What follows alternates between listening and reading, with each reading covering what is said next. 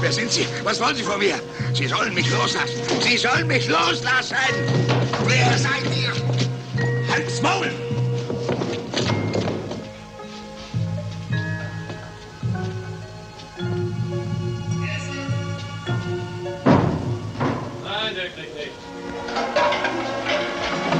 Auf und ab gehen! Die Partei hat immer recht. Da wird irgendwo ein Missverständnis vorliegen und es wird sich aufklären. Man muss sich nur mal den Regeln fügen, selbst wenn sie hart sind. Und sei es nur, um seinen guten Willen zu beweisen. Sie sind hier, um Ihre Verbrechen zu gestehen. Gestehen was? Wer sind Sie? Geben Sie zu, was Sie sind. Ich bin der stellvertretende Sie sind gar nichts.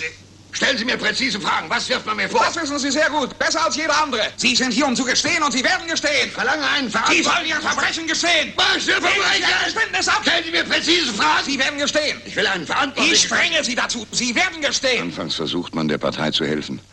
Ihr zu helfen, klar zu sehen. Klarheit bei sich selbst zu finden und zu verstehen, warum man hier ist. Welcher Fehler dazu geführt hat. Man ist durchaus gewillt, Selbstkritik zu üben. Irrtümer zuzugeben, die der Partei geschadet haben könnten. Die Jahre des Kampfes und der Disziplin in den Reihen der Partei, unsere ganze Schulung haben uns gelehrt, dass die Partei nie irrt, dass die UdSSR immer recht hat. Wie oft hat man uns gesagt, uns unserer Demut nicht zu schämen, dass es besser sei, sich mit der Partei zu irren, als ohne sie recht zu haben. Gestehen Sie. Gestehen Sie Ihre Verbrechen. Sie müssen alles gestehen. Gestehen Was Sie. gestehen? Die Partei hat ihre Verhaftung angeordnet. Es handelt sich um eine internationale Spionage- und Hochverratsaffäre gegen die Sowjetunion und unser Land. Gestehen Sie! Gestehen Sie, dass Sie Trotzkist sind! Gestehen Sie es! Gestehen Sie so schnell wie möglich, sonst werden Sie unter Ausschluss der Öffentlichkeit verurteilt. Ich habe 20 Zeugen, um Sie an den Galgen zu bringen. In dieser Affäre werden Köpfe rollen! Wir haben alle Beweise!